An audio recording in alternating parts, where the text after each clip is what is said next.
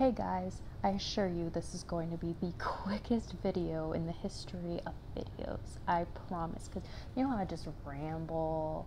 Yeah, I don't feel like rambling. but I do want to get to the point. Um, so I had a sleep mask on and it was about 5 a.m. and the room just started spinning. I'm talking, I'm nauseous, I'm I'm like, okay, I can either freak out, right? You know, get into your headspace. Two ways of freaking out. I could, you know, panic, panic, or I could get into a fear based state. Non judgment for either of those things coming forward because I did have to look at that.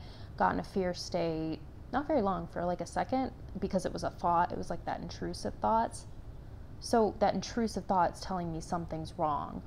Because the last time that I was nauseous, and it, and it was last May, um, I was out for about a month um, from my body. and it was not fun. It was awful. Um, all I could do was sleep. And I actually cannot drink chai tea anymore because that's the only thing. And uh, ginger, I for some reason when I have ginger lemon tea, it like flashbacks.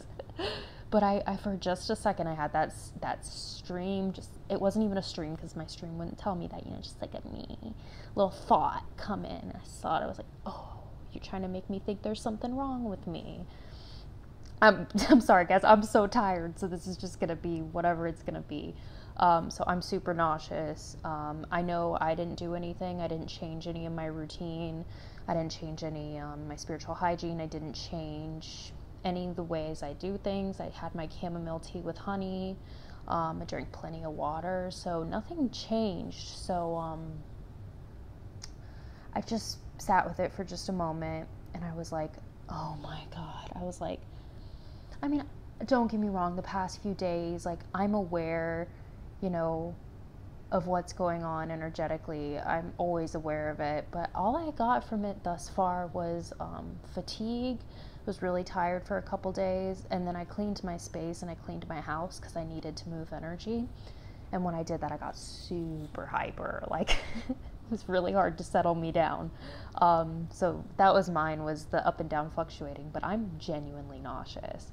And um, the thing that kind of came to me was obviously energetics but also maybe uh, radiation and what is radiation and asking about that too. I have no idea what that means, and I'm not going to tap into it because I don't have to know everything.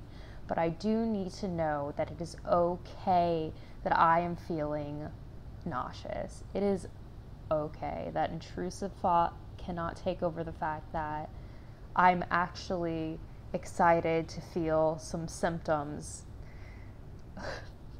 maybe just like you know dial it down.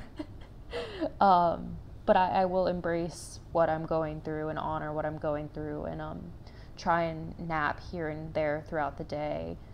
Very very interesting. Um, i haven't kept up with much in the past two days.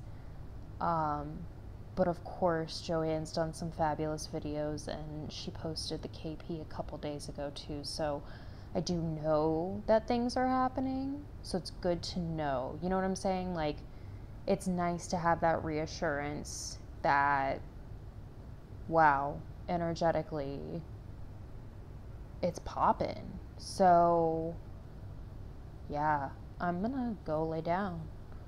Um, so, whatever you're going through, don't let those intrusive little thoughts tell you you're backtracking or um, doing anything wrong because I caught, I caught one. I caught like it's weird. You can catch them like flies now um, if you just observe the difference between your inner voice and uh, those little intrusive thoughts that bring back those little fears too. So yeah, I'm gonna. I feel sick. I'm gonna go. Bye guys.